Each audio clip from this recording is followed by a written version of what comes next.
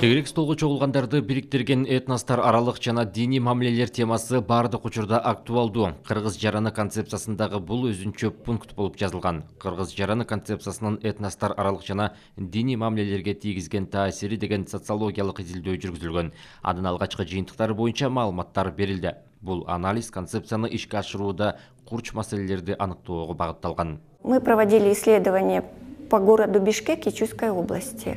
бул изилдөөнү бишкек шаарында жана чүй облусунда жүргүздүк. Жыйырма жети респондент менен сурамжылоо жүргүзүлдү. башкача айтканда жыйырма жети тереңдетилген интервью алынды. алардын отуз жети пайызы христиан динин кармангандар алтымыш үч пайызы ислам дининин өкүлдөрү.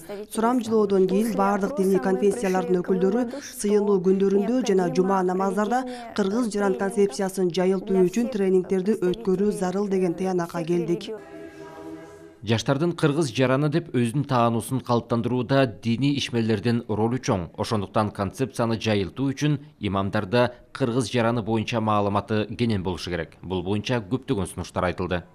Кыргыз жаран деген концепцияны ишке ашырууда бул диний ишмерлердин ролу өтө чоң болот. Анткени биздин курандын ичи дагы толо ошо мекенди сүйүүгө багытталган ондогон аяттар баягы адамдар бири бирин сыйлап жашоого мыйзамдарды сыйлоого ондогон багыттаган биздин шариятыбызда динибизде ушундай багыттамалар бар. Ошонун баарын айтып отургандан кийин ал жерден уккан сөздү адамдар жүрөгү менен аткарат негизинен.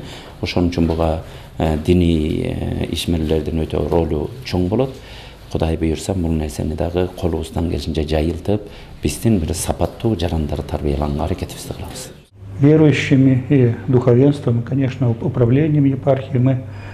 Диний ишенимдегилер жана дин кызматкерлери албетте епархиянын администрациясы. Биз бул концепциянын терең идеясы үчүн күн сайын актуалдуу болуп келе жатканына толук кошулабыз. Анткени адамдар үчүн жан дүйнө тынчтыгын таандыктыгын сезүү маанилүү. Бул жерде эки тараптуулук бар. Биринчиден биз өзүбүз кыргызстандын баардык тургундары. Бири бирибизге кам көрүү үчүн көп иштерди жасайбыз. Албетте экинчи жагынан система катары мамлекеттин камкордугу чоң мааниге ээ